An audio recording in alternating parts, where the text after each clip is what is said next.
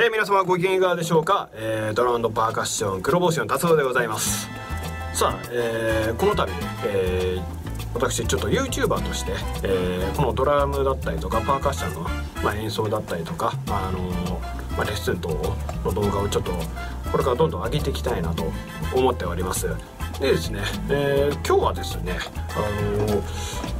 最近よくまあ初心者の方だったりとか、あの初めてドラム見ますっていう方とかああドラムすごいですねって言われる方によく聞かれがちなのが左右あもう手足バラバラで演奏できてるのすごいですよねってこれよく言われるんですね。まあ確かにパッと見てそうなんですよね。バラバラで動いてるように見えるんですよ。なんですけど実はこのちょっと考え方をちょっと変えるだけで8ビートがちょっと叩けちゃう。8ビートっていうのはあの割とドラムの初心者であの叩くまあ最初のあの基本のリズムになるんですけど実はこれをあの縄跳び縄跳びって皆さん多分やらやったことある方多いと思うんですけど縄跳びを一番最初に飛んだ時って覚えてます？縄を前に出してピョンって飛ぶこの感覚。ああいう手順でちゃんとやっていくと8ビートって意外と簡単にね叩けるんですよ。ね。うん。叩けちゃう。ということで8ビートをちゃんと手順に沿ってレクチャーしていこうかなと思いますんで、えー、どうぞよろしくお願いします。じゃあねざっと説明してまいりましょう。今これはね僕がドラム座ってる側に今ちょっと撮影しております、えー、ドラムでですね基本的に3つの楽器でリズムを刻む刻むわけなんですけどまずこれ。バスドラム。またの名をキックとも呼ぶんですけど足で振りますからね。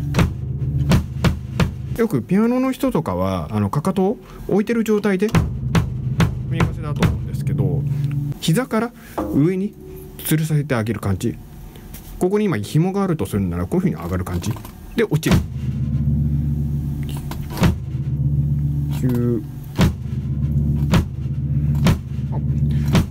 ま、ずこのバスラムがあの一番重要になってきます。さあ次に重要になっていくのがこちらスネアドラム、えー、本来だと白い断面になってるんですけどちょっと訳あって今ピンストライプっていうねクリアヘッドを使っております。まあこういう音しますね。裏側にちょっと皆さんよく今日透明だからよく見えるから分かると思うんですけどこの響き線っていうのがあってこれがオフになると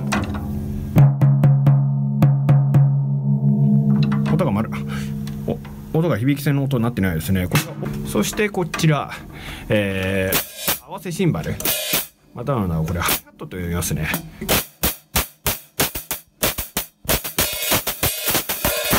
まあ、こういう感じで練習します。じゃあですねまずねバズーカ踏んでみましょうかね。頭四分音符で45のテンポでちょっとやってみます。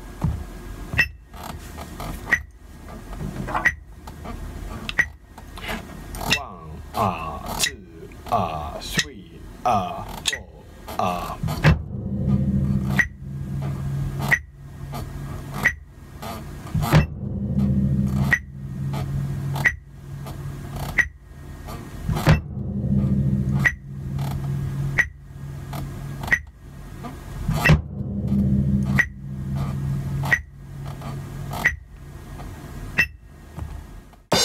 じゃあ続いて、えー、このバスドラムに加えこのスネアドラムもちょっと入れてみたいと思います。バスドラムが先ほどまで四分音符で頭を打っていたのに対して2拍と4拍にスネアドラムを入れます。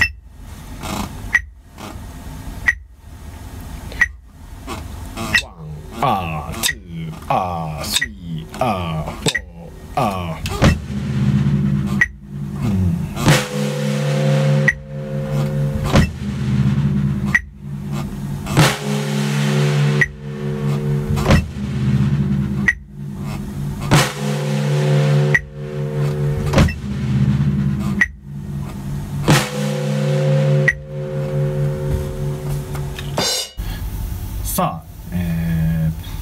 最後にこのハイハットて演奏していきたいと思います。せっかくスタジオ入ったんでちょっと鏡も活用しないと。今までだとこのバスドラム、えー、続いてスネアドラムこの2つでま演奏してたんですが実はこの2つだけでも8ビートの感じっていうのが聞こえるんですよね。花本なんかそうじゃないですか。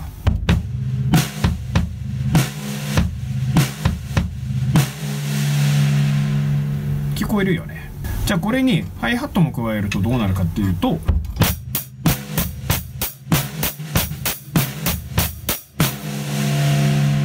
ハイハットが加えるとより明確になるというところですね。じゃあこのハイハットの入り方今みんなちょっと見て分かったと思うんですけどバスドラムとハイハットが同時に入るところと、えー、ハイハットのところと、えー、ハイハットとスニャーを叩くところとハイハットだけのところがあったと思うんだけどこの順番通りでクリックと合わせながらやると必然と8ビートになるっていうことが皆様ちょっと見てて分かるかと思うんですね。じゃあこれをいかにやりやすくやるには、まあ、どうしたらいいか。さっき話した縄跳びをやる感覚ですね。じゃあものすごいゆっくりでちょっとやってみましょうか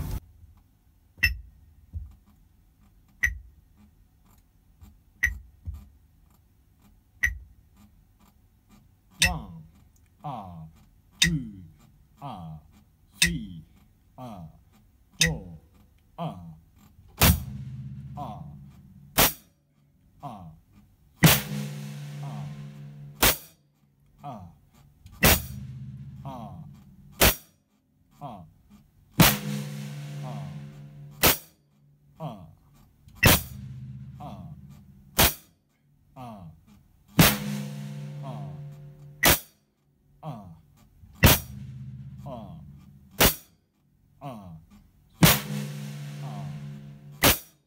ああものすごいゆっくり、えー、8ビート演奏してみました、えー、皆様からするとあこういう順番で入るんだなっていうのがあ明確に分かりやすいかと思うんですけどこれ演奏するの結構大変なんですよ。ゆっくりほど結構難しいものはないというね。うん。じゃあねちょっとだけねテンポをね上げてね見てみましょうか。ちょっと上げたらこんな風になりますっていうのがね。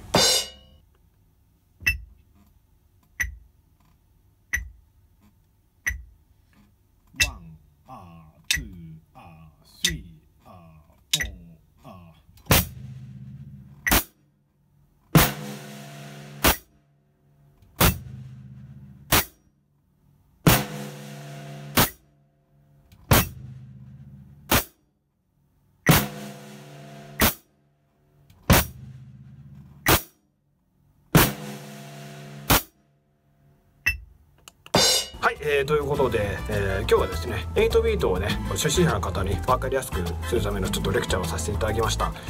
こちらのチャンネルのねチャンネル登録よかったらぜひ、えー、登録してみてください。ホームページだったりとかインスタグラムと、えー、こちらでも随時ちょっと更新してまいりますのでもし質問等があれば LINE アットの方であの質問受け付けますのでぜひ